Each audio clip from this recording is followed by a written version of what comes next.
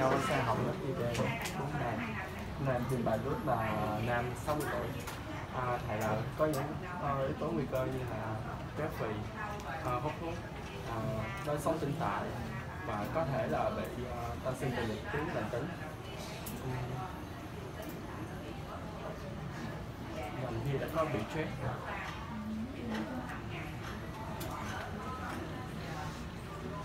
À, ngoài ra thì còn có uống rượu bia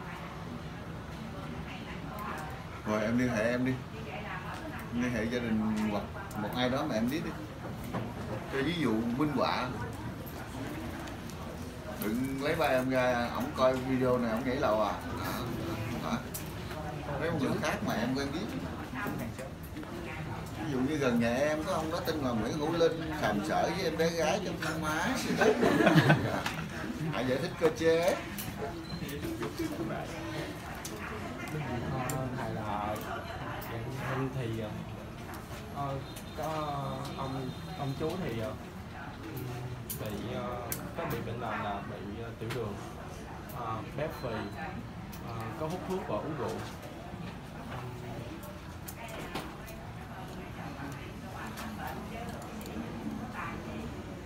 rút ra được gì?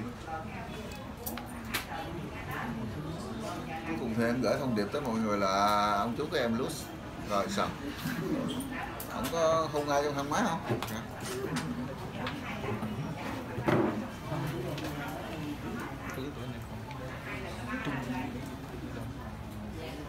Cơ chế vì sao các người nam trên 60 tuổi hiện nay ấu dâm rất nhiều? Liên quan chặt chẽ tới lút này có một mối liên quan chặt chẽ với lút này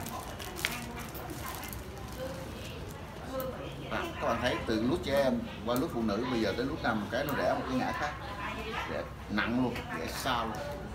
Đòi hỏi chúng ta phải có một kiến thức thứ nhất là về sinh lý. Rất giỏi về sinh lý. Một kiến thức về sex và một kiến thức về tâm lý xã hội học. Và đặc biệt là internet. Đặc biệt là internet. Vì tất cả những người ấu dâm khi em công an kiểm tra trong máy tính của họ đều có rất nhiều phim sex ở trong đó. Như vậy. Rồi đây. Như vậy nhắc cho chúng ta rằng ở một cái người nam lớn tuổi điều nguy hiểm nhất là khi dòng bụng lớn hơn dòng mông. Nếu các bạn ta không dám đụng chạm tới những cái tâm linh ta không dám đụng chạm tới Phật Di Lặc. Nhưng ông Phật Di Lặc là một hình ảnh tưởng tượng của người dân. Có nghĩa là người ta nghĩ rằng ông Phật, ta có ba ông Phật ông Phật của quá khứ, ông Phật của hiện tại và ông Phật của tương lai. Ông Phật quá khứ đã có, đó là ông Phật Thích Ca Mâu Ni. Ông Phật của hiện tại chưa có. Người ta đang cố gắng tưởng tượng ra, đó là ông Phật A Di Đà. Đó là ông Phật để chúng ta tu và chúng ta làm cho bản thân mình tốt hơn. Còn một ông Phật nữa, đó là tu để cho xã hội tốt hơn. Đó là của bên nhóm nhóm Phật ờ, Nam Tông. Ta không nói tới đây, nhưng ta nói tới một ông Phật của tương lai mà ta còn đặt câu hỏi vì sao người ta nghĩ tới ông Phật đó. Ông Phật của tương lai đó là ông Phật bụng rất là bự. Đức Phật chỉ là không? Và cái vú bự. Đối với bất cứ người đàn ông nào khi có bụng bự dưới bự, thì nồng độ estrogen trong máu sẽ tăng cao. Khi estrogen của người đàn ông tăng cao, cực kỳ nguy hiểm. Nó dẫn theo hai điều. Nó sẽ dẫn theo bụng bự vú bự và tinh hoàng sẽ teo vú thì bự lên, còn tinh hoàng thì teo xuống. Và nó dẫn theo hàng loạt các chuyện khác tuy nhiên ta hỏi tinh hoàng teo thì tại sao lại ấu dâm? Vì người ta phát hiện ra rằng estrogen chính là sexual desire.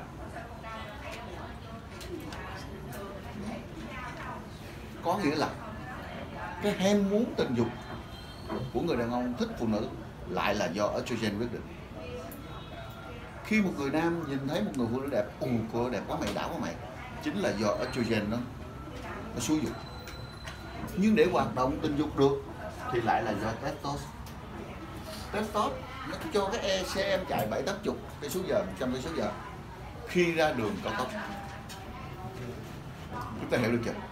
Như vậy, để làm những cái trò vớ qua vớ vẩn, trò mèo là do estrogen như vậy, từ đây trở đi, nếu các bạn nhìn thấy một người đàn ông nào bụng bự vú bự, thì các bạn hãy nghĩ ngay đến một cái estrogen trong máu ông đó tăng cao và nghĩ ngay đến, nếu như những người đó mà không có một nền giáo dục đạo đức, không có một nhân cách tốt, không có sống trong một cái socio economic đặc biệt, một nhân cách lớn, thì những người đó sẽ làm bệnh hoặc có thể những người đó ngày thường thì nhân cách lớn, nhưng nhậu xỉn vô, thì lúc đó ác quỷ sẽ nổi lên và thiên thần sẽ gục ngã.